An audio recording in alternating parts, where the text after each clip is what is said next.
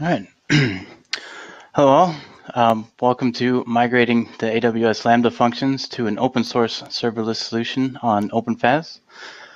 Um, I am Burton Rheutan. I'm currently a principal engineer at Dell Technologies. I was until recently um, one of the members of the OpenFaaS core team. Uh, I've since, since stepped down uh, as the work at uh, my main job has taken a lot of my time and I haven't been able to contribute as much as I would like to, so I've stepped down for the time being. But I'm still a uh, part of the project. Um, I was once a BMW certified technician and um, spent some time in the US Navy. Had a very mechanical background, but now I am in the software world and in the open source as much as I possibly can. Uh, so quickly, just set some expectations for this talk. Um, this, what it is, what it is, what it is not, what it is, and what you, what I hope you can get out of this. Uh, so first, this is not a bash on AWS Lambda in any way. AWS is one of the main leaders in the cloud computing world. They have a lot of open source projects, lots of contributions. Uh, there's no knock on them at all. Also, this is not um, intended to sell you OpenFaaS as a solution to your problems. Uh, it you may find that it will help, but this is uh, hopefully not a sales pitch. Uh, also, it's not a direct walkthrough, and there is no live coding. Um, I found that the um, virtual platform here makes it difficult to share my screen and type the commands on the terminal and also be able to answer your questions at the same time. So I've decided to just um, show screenshots of the code and all the commands that I've been running. Uh, so to show you what was happening, but give you the opportunity to use the Q&A section um, as we go through it. Uh, this is a real world example, uh, something I've seen happen in the past. Um, so what I'm going to do is explain the scenario, go through all the changes, and show you all the screenshots, like I said. Uh, what I hope you can see that you can have serverless and have open source together. Uh, hopefully be able to show you some new concepts. Uh, and then at the end, I'll give you some links to try some things out yourself if you're interested. Um, so a quick brief background on serverless, which um, I'm sure everyone's aware of now. But serverless really means that the server the code is running on no longer needs to be in consideration. Right? You don't have to log in somewhere and install packages or anything to that, of that nature. Uh, it starts when it's needed, runs for a very short time, disappears. There's no state sticking around and uh, it just executes code and gets out of the way.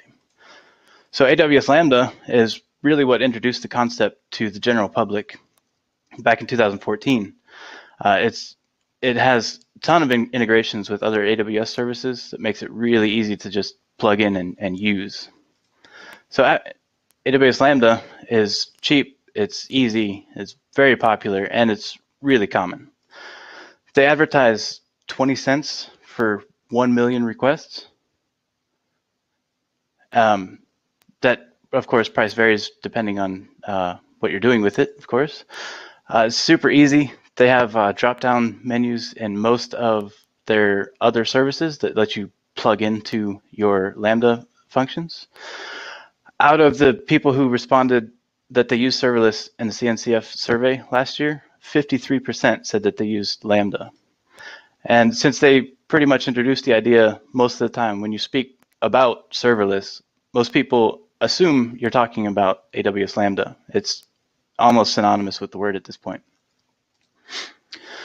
However, it is a product. Um, there are limits, and it only works with AWS. It's cheap, 20 cents per million requests, but it still makes Amazon money at some level. Uh, this means that changes and upgrades are ultimately determined uh, by the revenue that potential at, at some level. Um, so the, the, they have limits, but they are pretty liberal, but they are decided by AWS uh, only. Uh, 15 minutes of a maximum runtime, three gigabytes of memory per function, and it only runs on AWS or sorry Amazon Linux uh, operating system. And also, since it relies on AWS to run, your local environment is never going to be an exact representation of what is in production. There are plenty of tools out there to simulate the environment, but it'll never be exactly the same. Uh, the LambCI Docker image is one great tool, and the SAM CLI that AWS owns uh, is another great tool for simulating the local environment. And then on the other side, um, is open source. It's developer first, operator friendly, and it's very familiar and portable. So it's it's MIT license, which means it's free for commercial use and free to um, fork it and make changes as you need. It's also part of the CNCF serverless landscape. Uh, it was first introduced back in 2016 as a Docker hack uh, pet project, and now it's got almost two, 300 contributors, um, most of which are active or multi um, commit contributors. Uh, it's very familiar. It uses a lot of the other CNCF projects as part of the stack. Uh, we call it the Plonk stack, which stands for Prometheus, uh, Linkerd, or you could substitute Linux with Containerd. Uh, OpenFaaS, of course, NATS, and Kubernetes. And then we have a custom CLI that we uh, use to integrate with the functions, but it also works with the kubectl or kubectl, however you prefer to pronounce it. It's also portable, um, so we can deploy production containers with Docker Desktop, MicroK8s, uh, Minikube, K3s, whatever uh, is comfortable for you in your local environment. And so the local environment is using the exact same technologies that um, your production environment is using. On the other hand, it's not hosted. There's no definite SLAs, and it's a bunch of building blocks to come together as as a whole. So you'll need to bring your own cluster, or uh, it also runs on a Linux VM with our somewhat recently released uh, faasd. It's very minimal impact. The OpenFaaS itself is, uh, you may not even notice it. It's such a small impact. Of course, depending on the loads of your functions, you might start to see some impact there. But although there is no support team, we have a really large uh, Slack community that's pretty active uh, at all times of the day. We have people from all over the world in all different time zones. Uh, so somebody's almost always around. Uh, there is also commercial support via OpenFaaS Limited, just throwing that out there. And if something does go wrong, it it's not just one thing. It could be one of a few different things because of the stack nature, which is not uncommon um, for you know software applications these days. So this is our scenario. It's a realistic situation. It could easily happen to any one of us. We're working at a startup that's about to get ready to launch. Right? The development team is focused on the product. Right? We want to make sure the thing that we're selling is is ready and working as we expect it to. So while we while we the development team focus on the product, the founder or owner, whomever, uh, outsources a sign up page for new customers to come in. The team that he contracted uh, sets up a web page and it calls an AWS Lambda function that stores the customer sign up information and stores it into a DynamoDB that we can use, that the sales team can use later to contact these customers. So great news, shortly after launch, everything's really successful. Um, we get a lot of funding. They hire a CTO but his, uh, their opinion is that all of the development should be managed by the company. So the existing product that we've been working on uh, is running on Kubernetes cluster hosted by DigitalOcean.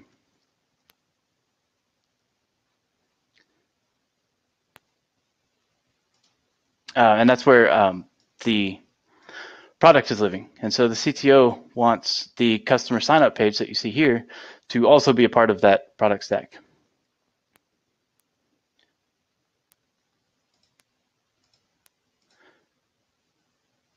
Oops, sorry. Um, so we, we need, need to be able to move the, the AWS Lambda and the signup page into the um, Kubernetes cluster, possibly on DigitalOcean. The CTO is also in talks with Google Cloud and Azure possibility for a large, uh, larger clusters and increased load and all that stuff. So we want to be able to bring everything together into one, one form.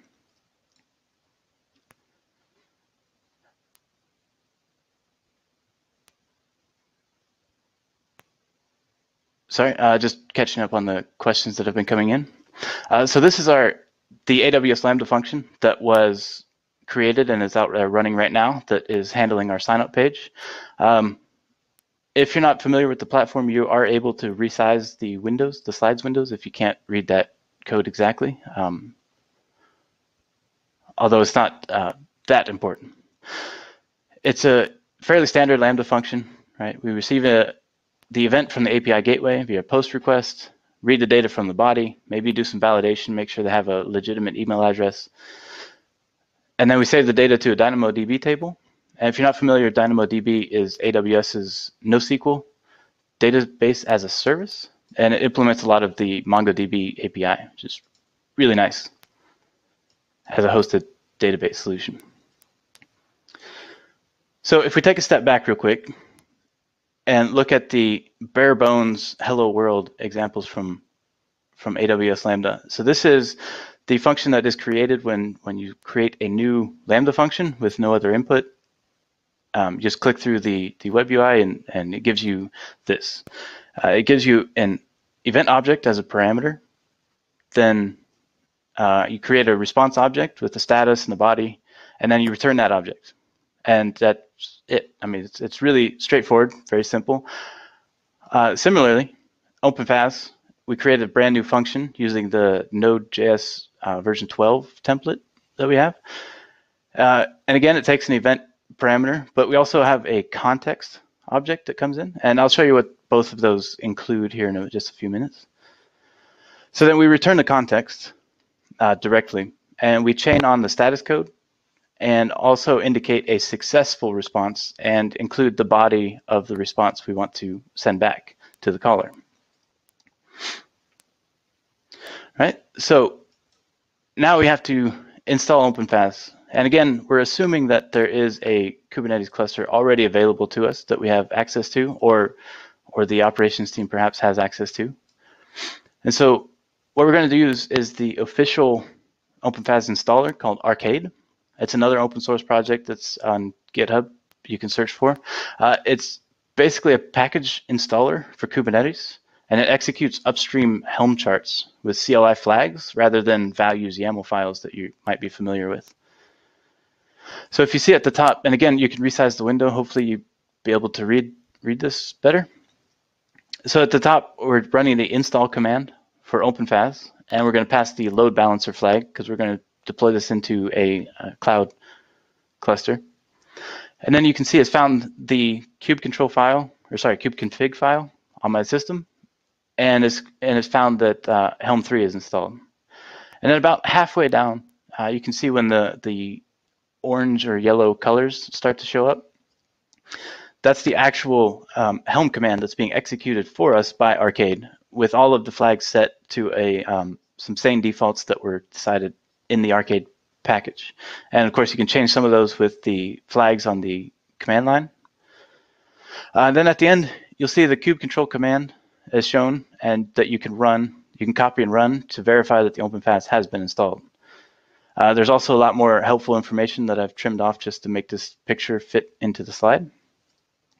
The whole process took about a minute or so, but it could be longer um, if it has to download Helm for you or download Kube Control if they're not already installed on the system that you're running this on. So now we need to install the OpenFaaS CLI, uh, excuse me, on our local system in order to manage the, the functions easier. Uh, then you'll see at the bottom, after we've installed it, we try to run a command and it automatically tries to connect to a local instance. Um, so by default, everything is ready to run locally. So if we go back and run one of those commands that were from the arkade output, we can see the deployed pods at the top. Um, and then at the in the bottom section there, another, we'll run another one of those arkade commands to get the external IP address of our load balancer. So then after we get that public IP address, we'll set that to an environment variable so that the faas-cli knows where to connect. And then we'll use that um, going forward so we don't have to pass that in for every command. Then we're going to get the login credentials from the Kubernetes secrets. So the arkade ins installation generated a random uh, password for us to use, and then we can pull that out of the Kubernetes secrets, and again, pass that into um, a variable and for, forward that into the login command. And so at the bottom there, you see now we're connected to the local, or sorry, the remote cluster, and there are no functions yet, but we're getting there. So if we go back real quick to the, the pods that were deployed, you can see the Plonk stack um, as it is deployed. So we have Prometheus and Alert Manager, and those two are responsible for the, the metrics and scaling of the functions. Then we have the Nats, Queue Worker, and faas-idler for scale to zero, the queuing system, and the asynchronous invocation of the functions. Uh, and then finally, we have the gateway and the ba basic auth for accessing the functions. And again, um, since this is not a live coding session and we're just going through the commands that were executed, please feel free to put your questions into the Q&A section and I'll do my best to, to catch them as they come in and try to answer them as we go through. Uh, if you do have any questions on what's being run or, or what's being shown.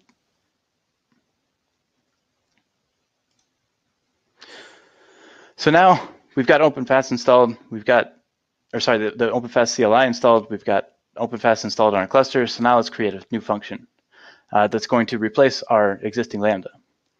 So using the faas-cli, we're going to use the new command. We'll give it a name. We'll call it sign up. And we'll tell it what language to use. In this case, Node version 12. Uh, there are several available. I'll, I'll get back to that in a few minutes. And then I'm passing in the prefix flag with my username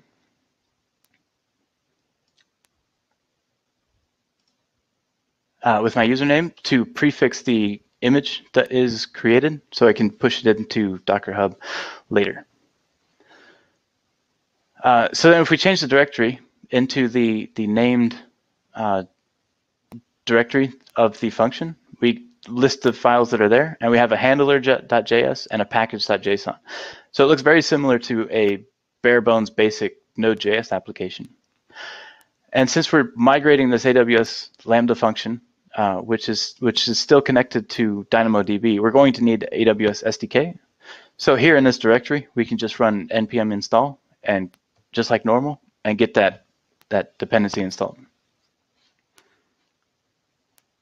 And behind the scenes, the the Node 12 template uses Express.js as uh, the application routing. Although you don't need to concern be concerned with that inside the function, it is there are some um, features available because we're using Express um, behind the scenes. So while we're moving and using all of and migrating the code over, we're going to need to make sure that everything is working um, as we go through the, the migration process. So we're going to use the faas-cli and we're going to build the function into a container image. And so we run the faas build and it takes the function code that is in the handlers.js file and the package.json and bundle it with the template code that includes Express, as I mentioned. And it'll bring those two things together. And as you can see, um, about a quarter of the way down, step one of 29, it, we're pulling in the OpenFaaS watchdog, which allows the functions to be invoked through events. And then at the end, it'll spit out a um, Docker image that's ready to run, ready to build. Or sorry, yeah, ready to run as a container. Uh, I also wanted to point out right there in the in the middle that unit tests, if they are if they do exist with your function, they will get executed as part of the build. So it's um, it'll protect you from any mistakes that you may have made um, while you're working in it. Uh, that's not available on all of the templates, but uh, it is a nice feature for a lot of them.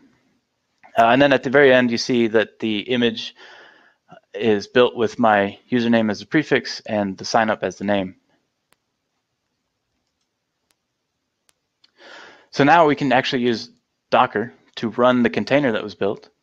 Uh, no other dependencies. It's just the image that was built. We're going to run it, and we'll use we'll use the um, port forwarding to uh, be able to invoke this locally. And so in this example, what I've done is just simply console.log the context and the event that the function receives. And I was using the Insomnia API client to invoke this, uh, just so you can see the um, the host and and things like that. And so you'll see in the event we have the body, headers, method, query, request path. Uh, you'll make note that the body is an actual JSON object, not a string, as uh, AWS likes to do. It's very similar, though, in structure to the AWS Lambda event that comes in. Uh, the context, on the other hand, is an object that gets that will get serialized into a response by the template code. And you can see you have access to the headers and status code separately. And the CB or the callback uh, is what will serialize the object for you uh, to return as the body. All right, so now that we have the function running, as you can see, everything's ready to go. Let's see what the difference was. What actually changed? If we made all of these changes in place in a Git repository, this is what the Git diff would look like. So Lambda is on the left, OpenFaaS is on the right. You can see at the top we're going to require the FS library to access the file system uh, to get the AWS secrets. Uh, I'll get back to that in a minute. And so we're going to have to add a new function called configure AWS and then set the DynamoDB variable. And again, I'll show you that in just a few minutes. Uh, and so the event body, oh, sorry, um, we no longer need to create the default response object since it's now being handled by the context directly. So we don't just have this object um, getting modified as we go through the code. Uh, the event body then needs to be checked for the keys since it's not a string anymore. We need to see that the, if make sure that there was a body included in the request, just as a safety measure. And then you can see on lines 14 and 15 on the right-hand side, the status code is being passed to the context, and then we are calling the fail extension, right? So that is that will automatically log errors, and by default, return a status code of 500 if you don't specify anything. So we could have just said context.fail and be done with it. It would have returned empty with a 500 to let the um, user know that this has not worked without having to pass anything additional inside. So if we scroll down a little bit further, the main parts of the function remain, for the most part, intact. The changes here just replacing the modification of the response object that was created at the beginning from Lambda and changing that to calling extensions on the OpenFaaS context. So then at the top on line 19, you see that we no longer need to have the JSON parse function as the body is already a JSON object. So we can skip that potential for failure right there. Um, and then this feels a little bit more natural for a node developer, I think, uh, to call extensions rather than setting a property and passing an object to a callback directly. Now we're just using the framework that's uh, given to us. And then finally, this is that, um, that new function that we were talking about earlier, the configure AWS. So since we're not running within the Lambda environment anymore, we need to be able to provide the AWS SDK with the credentials in order to access the DynamoDB and various other features that maybe the function is using. Uh, so Lambda handles all of this automatically. When you create a new function, you a Lambda function, you select a drop down to select your IAM permissions and all of that. And so on contrary, so now we're running in OpenFaaS, which does not have that set. So what we're going to use is native Kubernetes secrets. And I'll show you that in just a moment. But by default, the secrets are stored in the slash var slash openfaaS slash secrets, and then the name of the secret. So that's why we needed the FS library earlier. So now we can access those functions or those secrets. And then we're setting the AWS config and you, passing those secrets in so that it can then access DynamoDB with the same permissions that the Lambda had. But I would argue a little more secure since we're using Kubernetes secrets that are um, well tested and secure.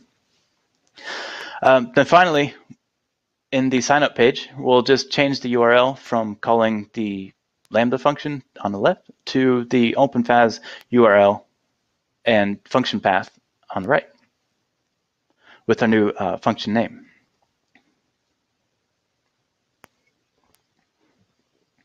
So before we deploy the function, we need to make sure those secrets exist. And so we can use the faas-cli to do this with faas secret create, give it a name, and pass in the values. Uh, alternatively, if you're more comfortable with kube control, kubectl, uh, we can we can create the secrets just the same in this in the um, yeah in the same fashion as the faas-cli, just trying to make things easy. And then, so now we're able to uh, publish the container image. And in this case, we're going to publish to Docker Hub, but you could also pass a registry URL for custom or private uh, registries for your images. So now we go to deploy the function. And again, using the faas-cli to deploy, you, will see it's failed at the bottom there. And so I wanted to show this real quick. It's a small, but I think important feature. So the faas-cli will not deploy a function when it requires secrets that aren't yet available in the cluster being deployed. So it's just a little safety net just to make sure you're not um, missing something or possibly attempting to deploy a function in the wrong place. So if we go back and change that unknown secret name to the proper proper name, we do the deploy again, and you see we get a 202 accepted, and we have the URL with the path to actually invoke that uh, function directly.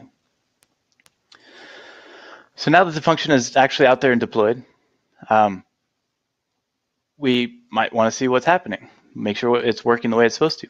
So to view the logs of the function, we can again use faas-cli logs and then the name of the function. And also, again, if you're more comfortable with kube control, it's, uh, we can use that just as well. And if you remember uh, earlier, the logs when we were running locally look exactly the same. Uh, just to show that everything is working exactly as it was on your local environment as is the deployed or production environment. And now that our function is deployed, our website is updated to the plan. Um, yeah, our web page is updated to the fast URL, but that's ugly, right? It's an IP address. Um, we could fix that by deploying a reverse proxy somewhere, set up DNS, give it a proper domain, all of that other things that are sort of uh, traditional for web application, or we can use the OpenFaaS ingress operator. So this will create ingress records for you. It'll create certificates with Cert Manager and Let's Encrypt um, certificates. Supports several different ingress options for your cluster, and also works on ARM and uh, Raspberry Pi. So again, we'll use the arkade installer, and first we'll install the Ingress Nginx, and then again you'll see the Helm command there. Then we'll install the Cert Manager separately. And again, the Helm command that is being run is shown for verification. Now we install the OpenFaaS ingress operator. Um, if you can see at the top, we pass in the registration email and the domain as flags, which is the nice feature of arkade. Uh, it does a check to make sure our, our cluster is prepared with Nginx and Cert Manager.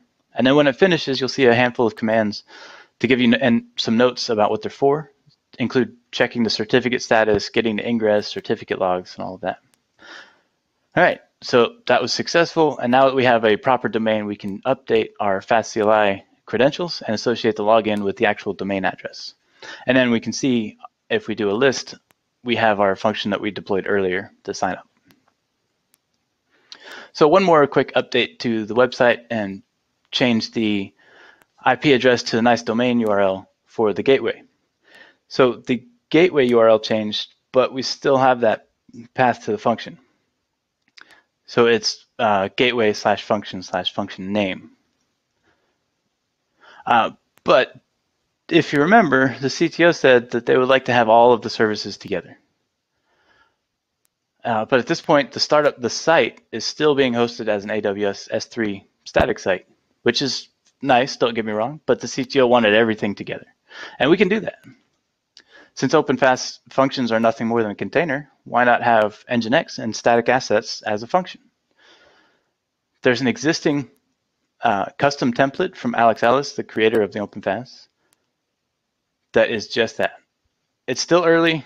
Um, it exists as mostly a proof of work, uh, work in progress, but you can download this, you can use the faas-cli, download this template, or any custom template uh, as a matter of fact, and and then create a new function from that template. So you see at the bottom there, faas new sign up site, and the language is the static site Nginx. And again, passing my username prefix, and we have created the um, the function code. So now, first thing we do is copy the existing sites bundled and minified code in the dist directory into the new functions directory. And then we do the faas build and the and then we can run it again uh, just as we did before with the docker run and passing in the uh, port so we can access it from outside. And then you see the logs is just Nginx and it's providing our static assets. So now we have a, a function that is our static site, which is really nice, but we still have the same path as the sign up function, which is the gateway URL slash function slash function name. And that's no good to hand to customers um, as a website. So we introduce function ingress, which is ingress per function. So you can directly access a function um, through an ingress. Now this is still in an in, in incubator status. So you'll need to clone that incubator repository for the ingress operator. And then run kubectl to apply those artifacts. And then you'll see in the logs, it'll set up the ingress and at the bottom uh, gives you a TLS route uh, by default to access your function that you've provided. So this is the uh, function ingress YAML file that was applied in that previous slide. And so we're going to define the custom resource with a domain name and then the name of the function to route to. And finally, the certificate issuer to use. In this case, um, let's encrypt prod. And so now our site has a, a nice domain name to access. The site is hosted in our cluster, so it's part of the rest of the project and applications. And you'll see we have a, a little lock in the address bar to indicate the certificate is has been verified. And if we use kubectl to get the pods in the OpenFaaS FN or function namespace, you can see both the previous Lambda function and the new static site are there. So great, everything's deployed, now what? So people familiar with Kubernetes operations will feel comfortable with OpenFaaS. Developers, new hires will feel right at home as well. Operators can continue to use kubectl if they're familiar with that to manage the functions and ingress with CRDs and pods and various. Um, Prometheus, since Prometheus is part of the stack, we have metrics and monitoring and they're included. So SREs are going to love you. Uh, it is Kubernetes native, so we have containers, uh, CRDs as I mentioned, we're using ingress operators. And then for developers, they can be productive almost right away as the result are just standard containers.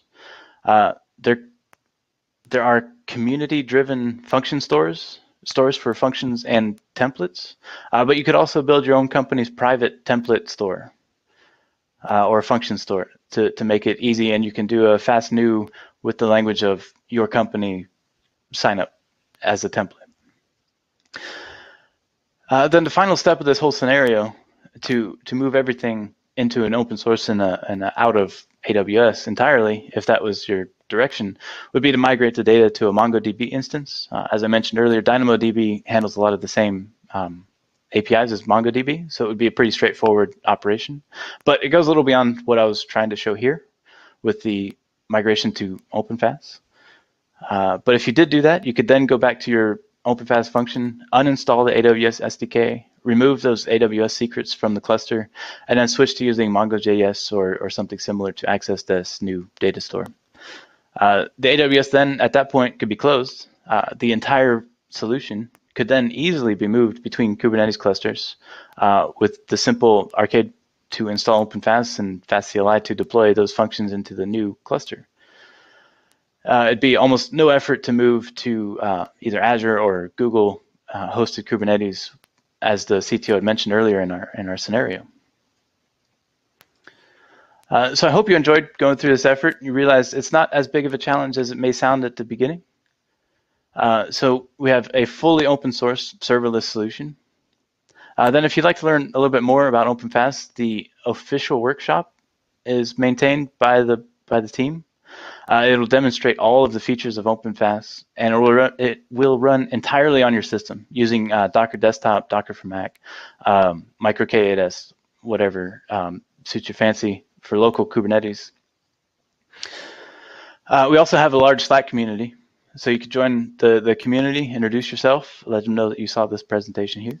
Um, and everyone's always happy to answer questions, give you help if you get stuck, encounter some sort of errors, uh, and also introduce some new ideas and, and projects as they come along. And finally, um, as was mentioned in yesterday's keynote, uh, this is another one of those open source projects that is completely independently funded. Uh, we're not, it's not built by a large, large corporation. It's just a, a bunch of volunteers working on their free time to make this a solution that, that works well for everybody. So we do appreciate your support and uh, it'll keep the project moving forward and adding new features as they come along. Uh, so if there are any questions, the, the Q&A section to the left of the screen. Um, I'm happy to answer anything. Uh, somebody says, other than FaaS and OpenFaaS, what are good Google search phrases to learn more about this? Um, I think the the word serverless is is good, although it is it is um, an actual company and a project that that uses uh, AWS Lambda. Uh, so you might get conflated answers with that actual um, company. I think it's a company or project. Uh, but FaaS is is a well-known term for function as, functions as a service, and OpenFaaS, of course, is the OpenFaaS project. Um, so that would be a, definitely a good search term.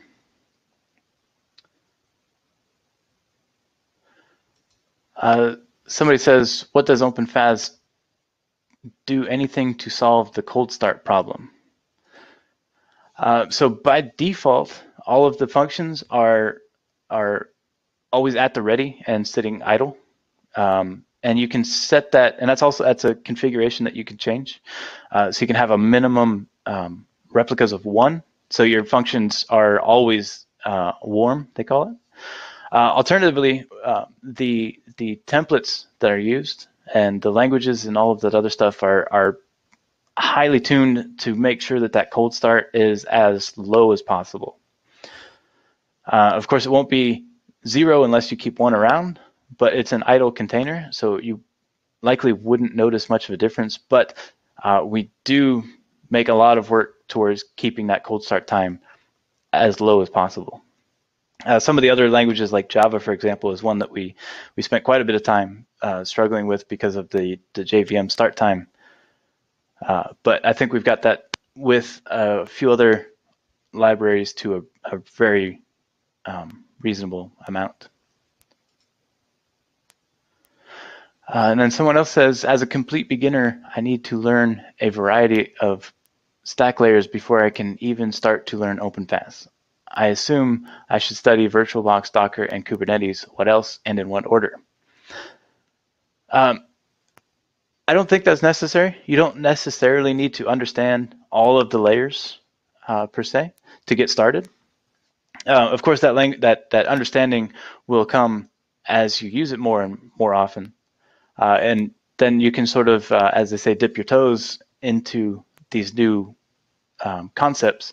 But to get started, um, if you're running Windows or Mac, there's Docker Desktop, and then um, Ubuntu has Micro K8s. Uh, there's also K3s and um, Kind, which is Kubernetes and Docker.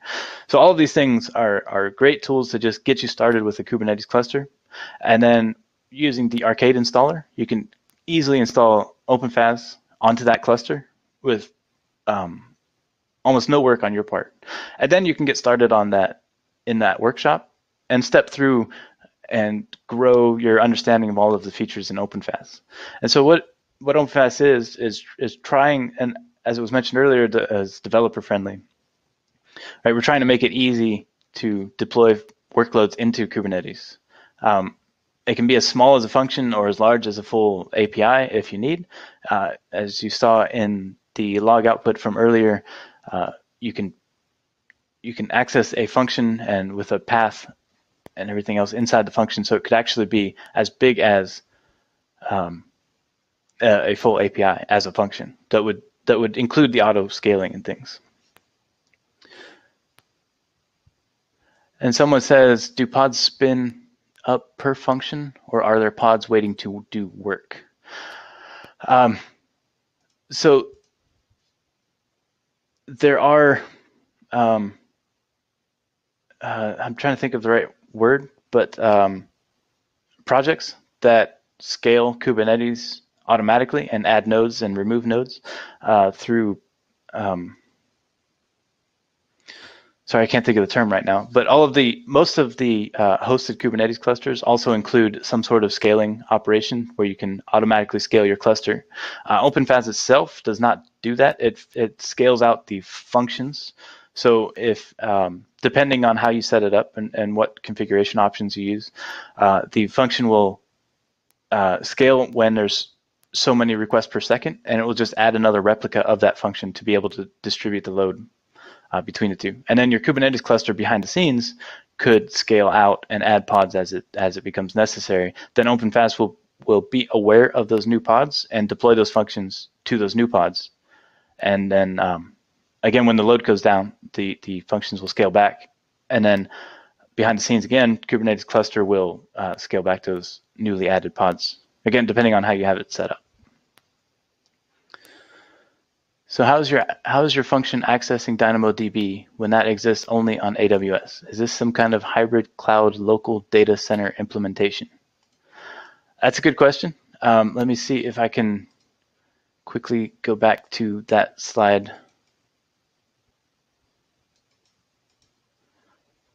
Real quick. Um, so because of, because we have included the AWS SDK in our function, and we are passing the credentials here to the um, AWS SDK.config, and so we're updating that configuration with the of the SDK with the region and the credentials, and then so the URL, or sorry, the the DynamoDB um, accesses that region uh, with those credentials, and it uses then IAM to to uh, connect to the database and and connect to it. So it's just um, because we're using the AWS SDK and those credentials, um, it it works that way through over the public internet. So this is actually deployed on DigitalOcean, and it's accessing the DynamoDB instance in AWS. It's a good question though. Uh, I see that it is more lightweight than Knative. Could you compare a bit between OpenFaaS and Knative? Um, so the Knative and OpenFaaS are very, very similar. They follow the same sort of paradigm of a function as a container, uh, which makes it really easy to distribute across the uh, across um, implementations. So Knative is is a really great open source serverless project that came out of Google, and um, so there's a lot of similarities. Uh, there's a lot of differences. Um, as you mentioned, um, this is a lot more lightweight than Knative. Uh, if you if you absolutely need all of the um, hands-on and knobs and buttons to twist, um, Knative might be more your more the way to go. But as as I understand it personally, Knative was built to provide a platform for other projects to build on top of uh, to to um, obfuscate that that complexity that is Knative. Uh, whereas OpenFaaS is built on top of Kubernetes uh, directly, and it's built with the developer and the operator in mind. So uh, we we intentionally leave out some things, but uh, try to make it as easy as possible to get started and get using it. And it's it's absolutely not lacking any features, uh, but some things we decide are too complex and don't really fit in the OpenFaaS model. Uh, so what is your favorite thing about OpenFaaS? Nice. Uh, so I got uh, running out of time, but I got started into the project because I was really curious of serverless, uh, and I didn't want to set up an account with AWS and possibly run my credit card into the ground uh, from from spending too much money. So I went on a search for how to do uh, serverless um, locally. And I found OpenFaaS, and I really came to love it because um, it's all open source. It all runs on my laptop if I want it to, and I can deploy it into um, a production environment and still have all of the great features of Kubernetes built in, uh, and still be able to play around with it locally. Uh, so that looks like our time is up, and I think I've answered all of the questions that came in. And if not, I will be available on the Slack channel uh, to Cloud App. And uh, look forward to seeing you all there. So thank you.